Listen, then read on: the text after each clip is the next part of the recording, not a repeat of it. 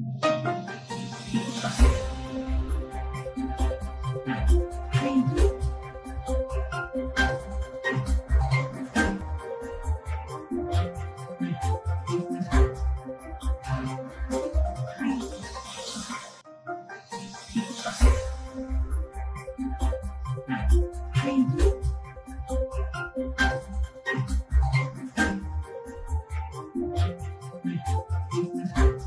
Engelos TV, God's voice that brings hope to the nations. And now to Rev Michael. Praise the Lord. You know, today is a wonderful day. As usual, this is the day that the Lord has made for us to rejoice and to be glad. We want to talk about waiting upon the Lord. In Isaiah, we are told, in Isaiah 41 and verse, 30, uh, verse 31, the Bible tells us that those who wait upon the Lord shall be strengthened.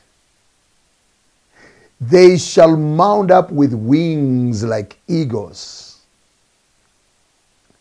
Even though they run, they will not be weary because they waited upon the Lord. Now, what does it really mean to wait upon the Lord? To wait upon the Lord is to be courageous in the face of adversity.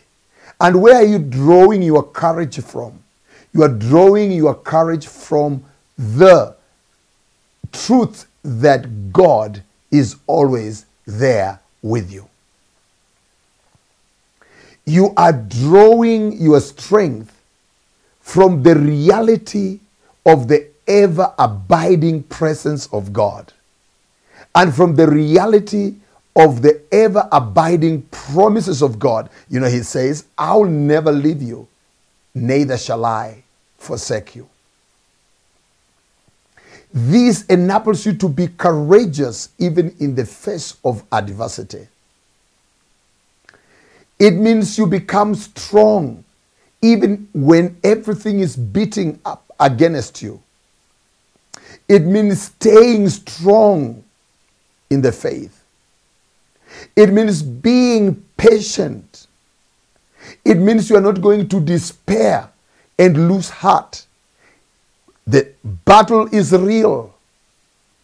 Your enemies look like they are triumphing, but you still hold on and you say, just like the, like Job of old, you say, I know my Redeemer liveth. I know that he's going to come through for me. You are like Shadrach, Meshach, and Abednego. They say, Oh king, throw us in the fire. For we are not scared of that because one thing we do know our God will deliver us. So to wait upon the Lord is to rely entirely on the Lord, to trust in Him. You are not leaning on your own understanding, you are leaning on God. Psalm 27 and verse 4. This is what it says Wait for the Lord, be strong, and let your heart take courage. Yes, wait for the Lord. He has given you, he has mentioned the word wait twice in this verse. Let me read it again.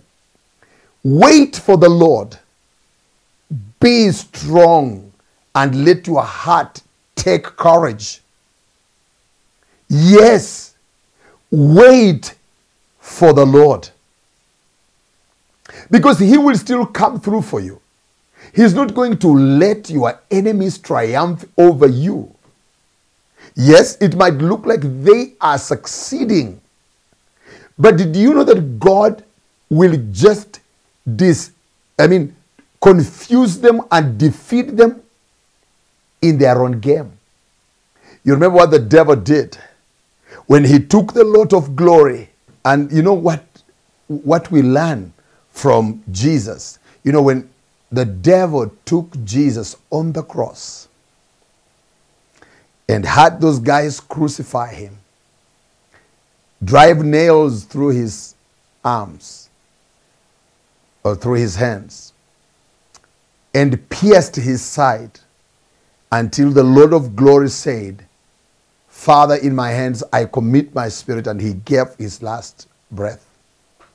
You know, in the mind of the devil, he had conquered Jesus. But you all understand, children of God, you understand what happened. On the third day, Jesus rose again. So your enemies may look like they are succeeding. They may look like they have actually buried you. They might look like actually they have put a huge stone over you to make sure that your memory shall no longer be there. But I want you to know this the Lord, with the resurrection power of Jesus Christ, is going to remove every barrier, every hindrance, every weight, everything the enemy has put on you to crush you. The Lord is going to blow it out of your way and you are going to succeed. So I just want to encourage you to know the importance of waiting upon the Lord. So make it your aim today to wait upon the Lord, to be patient with God. I'll give you these scriptures we end this class. In Hebrews chapter 6 and verse 12, the Bible says, Don't be slack like others, but be imitators of those who through faith and patience inherit the promises of God. So, waiting upon the Lord is being patient, knowing that God is going to come through for you. So, it is important for us to really wait upon the Lord. Almighty God, in the name of Jesus Christ, the Lord, I thank you for my brothers and sisters. I thank you for this teaching of the word. Father, I pray in Jesus' name that you help my brothers and my sisters, particularly those who are going through adversity, who are almost giving up, to realize the importance of waiting upon the Lord, taking refuge in God, making an abode in God, knowing that God is the most secure fortress and defense.